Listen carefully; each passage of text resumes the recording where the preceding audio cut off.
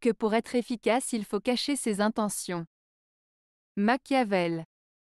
Cette citation de Machiavel peut être interprétée de différentes manières. D'une part, certains peuvent voir cela comme une justification de la dissimulation et de la manipulation pour atteindre ses objectifs.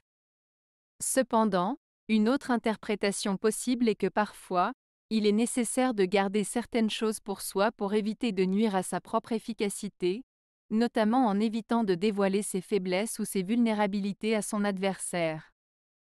En fin de compte, cela dépend du contexte dans lequel cette citation est appliquée, mais il est important de se rappeler que la transparence et l'honnêteté peuvent également être des éléments clés pour atteindre ses objectifs et maintenir des relations positives avec les autres.